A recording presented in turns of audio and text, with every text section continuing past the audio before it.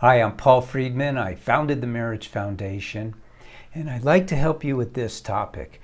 There are three excellent suggestions for how to break bad relationship patterns. It's a very good topic because what I'm going to share with you is useful, practical, and doable. So, I didn't used to be a marriage helper. I used to be a divorce mediator, believe it or not. It's over 20 years ago. So I was very good with communication. I was very good with helping people negotiate through their difficulties. And I wanted to use that to help people with their marriages. As it turned out, it wasn't of much use. I had to rediscover marriage. And so, what I'm going to share with you is much more useful the negotiation. So here we go. Three excellent suggestions for how to break bad relationship patterns. Now, the reason that you have those bad patterns is because as human beings, we have this little software called habit. Habits are just software. It, works very similar to the software in your computer. In fact, they designed software computer after the mind.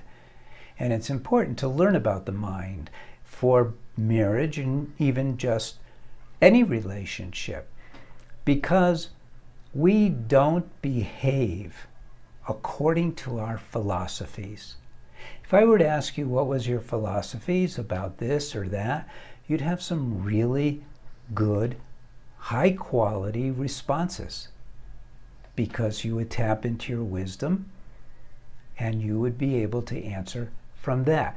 But when you were in a situation that called on you to use those same philosophies, instead you would revert back to your habitual reactions, not react, not responses, but reactions, because all of our reactions are habitual.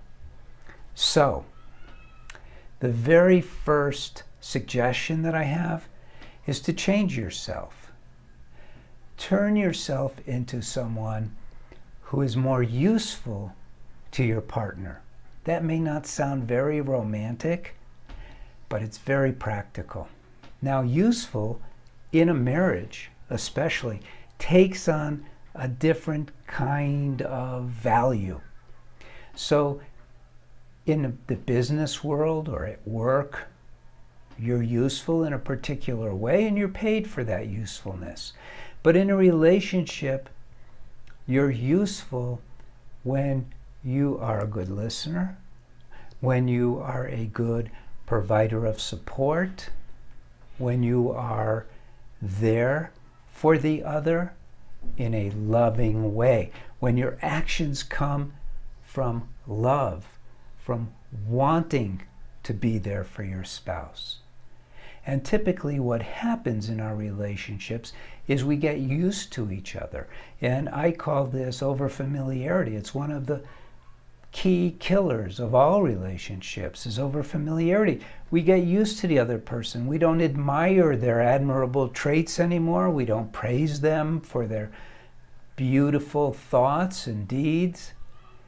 We get used to them. And it becomes very mundane.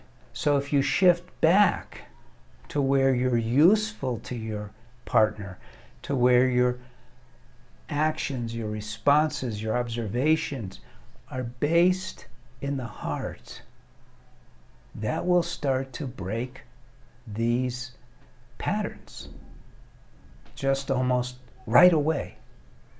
And then a different kind of cycle will replace. Now, number two, eliminate expectations from your thinking. We don't know much about the mind. In, in our courses and in my books, the mind is very, very important because you are half of the relationship, and in most cases, you have become your mind, and you're behaving from your mind's point of view instead of from your heart. And so you have to understand the mind so that you can master it, so you can get rid of expectations of your partner and instead learn how to love, learn how to be there for them. Expectations are a killer. Another word for expectations are desires. Desires are always based in our drive to survive, our fears, our anxieties. They're ways of compensating for things that we think we don't have.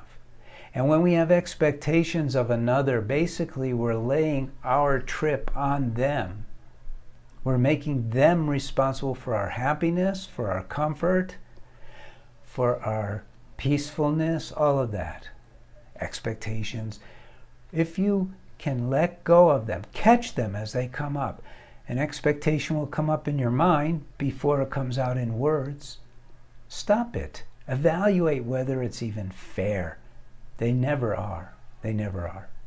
Number three, and this is a good one.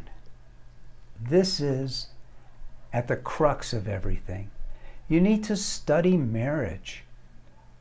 Make it your passion to study marriage. Make marriage your passion.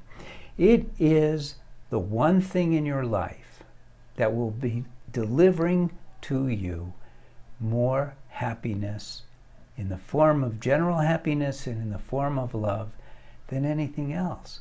But you have to be good at it. And in this world of ours, we learn algebra, geometry, and Old English, but we don't learn about ourself. And you're half of your relationship. You don't learn about the mind. It's a huge part of you. You have to understand how the mind is part of you, just as your body is part of you, and your soul is you. You don't have a soul, you are the soul. And so your body and mind are part of you. You have to learn how to control them. And you have to learn all of that. Then you learn more about marriage. What's proper interaction? What will deliver happiness? and what will deliver grief. Because we live in a cause and effect world, marriage is no different in that respect. And we tend to be very loosey goosey about our relationships. We act spontaneously. There's even that saying, hey, I'm just being myself. Well, you're not actually. Yourself is multifaceted. But what happens is you get used to your partner, you become your uh, relaxed self, your apathetic self, your lazy self, instead of maintaining control over yourself and being your useful, loving, happy, filled with love self.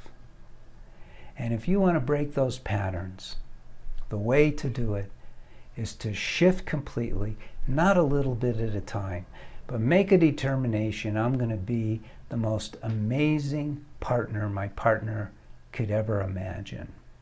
And then do it. And then both of you benefit. So I hope you like this video. Give it a like, leave a comment. Join me again by subscribing to the channel. I'm Paul Friedman. I founded the Marriage Foundation. Thank you for spending time with me, and God bless.